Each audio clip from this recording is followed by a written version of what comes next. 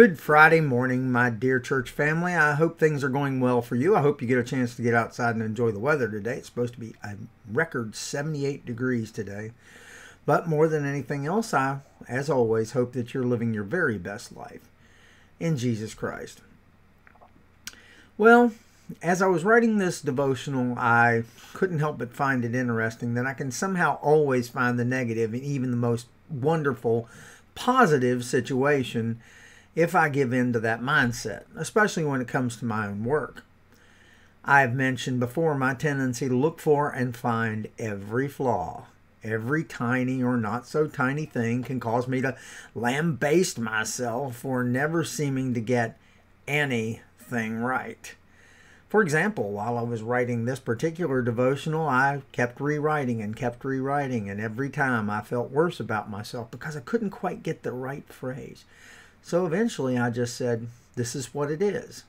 The thing is, that mindset can be about anything, really, for me anyway. My music, my weight, my preaching, my relationships with others, my sewing, my writing.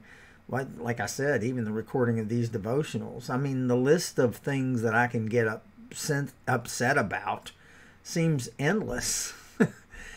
and the thing is that if left unchecked, this can and will cause me to become angry and sullen and grouchy and resentful and a whole host of other emotions which Satan uses to undermine my mental health and my relationship with the Lord. The thing is, it causes me to lose my focus on Him and instead focus on me, which I have found is the kiss of death.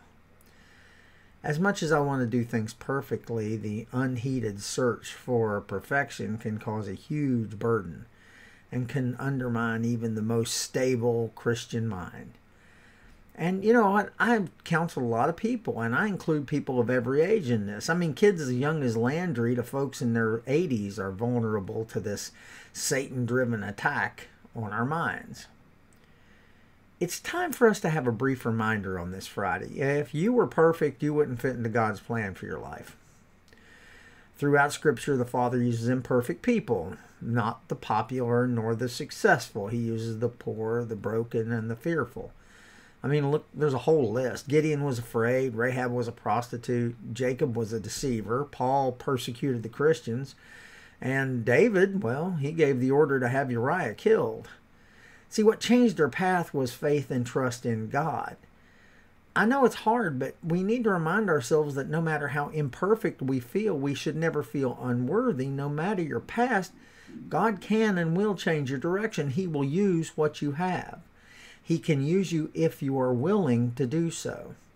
Look, the world is flawed, but in Him, restoration can always take place. It, we need to humble ourselves. See, God delights in you and he wants to display you to display his glory. I mean, in Corinthians 12 9, he says, uh, it says, but he says, said to me, My grace is sufficient for you, for my power is made perfect in weakness. Therefore, I will boast all the more gladly about my weakness, so that Christ's power may rest upon me. Imperfection turns into perfection when you take your eyes off the stumbling blocks in your lives. There's again from Paul, Romans 8:37. Know in all things that you are more than conquerors through him who loved us.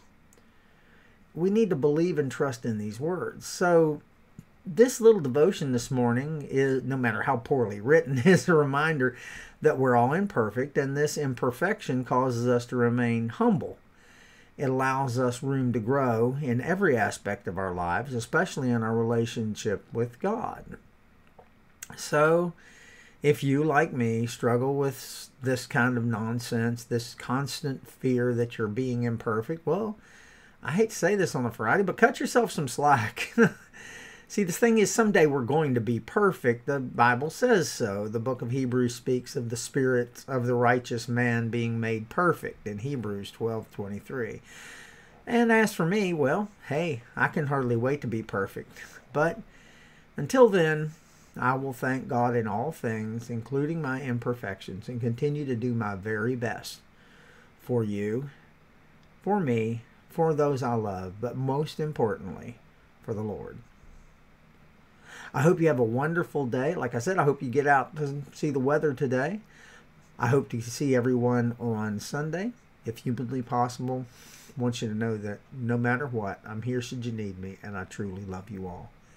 See you soon. Bye bye.